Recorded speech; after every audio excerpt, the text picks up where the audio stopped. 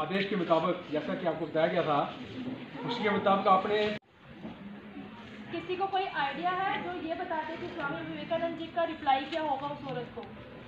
और बिना शोर के आपके बैग वहीं से पड़े हुए हैं आपको चेयर्स आपके रूम में मिलेंगी आपको डिसिप्लिन वे से आपने क्लास में ठीक है? तब तक आपने यहीं पाँच दस मिनट और लग जाएँगे यहीं खड़े रहना है उसके बाद आपने लाइन में जैसे डेली जाते हो प्रिंसिपल सर से मेरा रिक्वेस्ट रहेगा कि एक बार वो मंच पर आ जाए और अपने विचारों को हमारे सामने रखें।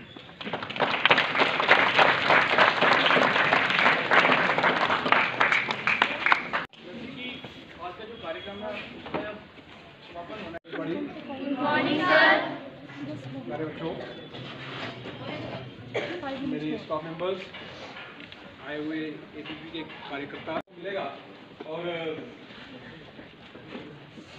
ये इनकी इनकी जो बिताई हुई रिस्ट्रिक्शंस हैं, या बताए हुए जो इन्होंने हमें मार्ग रास्ते, मार्गदर्शन हमारा किया है, हम सभी को, आपको भी बच्चों को भी, हम तो अभी खैर क्या है थोड़ा सा सभी बाकी बचा जीवन का। जब भी कोई कार्यक्रम होता है, ये पहुँच जाते हैं, और घर घर में जाकर ये कार्यक्रम दिखाते हैं। तो आज का कार्यक्रम यहीं समाप्त होता है। तो अब मैं अपनी कार्यकर्ता से विनय करूँगा कि वो प्राइज डिस्ट्रीब्यूशन करवाएँ और उसके बाद ये आज का कार्यक्रम यहीं पर समाप्त होता है। धन्यवाद।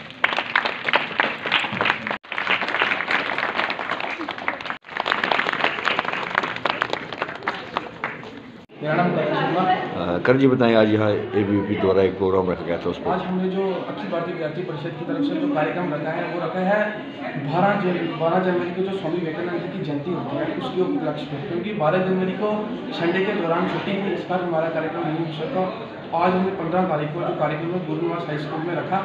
तो ये कार्यक्रम हमने स्वामी विवेकानंद जी के विचारों पर रखा क्योंकि जो उन्होंने अपने देश के लिए विचार रखे थे उसके ऊपर हमने ये कार्यक्रम यहाँ पे स्टूडेंट्स के बीच किया। और हम हर स्टूडेंट हर स्कूल में ये मतलब उनका विचार पहुँचाते हैं कि उन्होंने देश के लिए क्या किया। उठो जागो तब तक संघर्ष करो, जब तक लक्ष्य की प्राप्ति ना हो।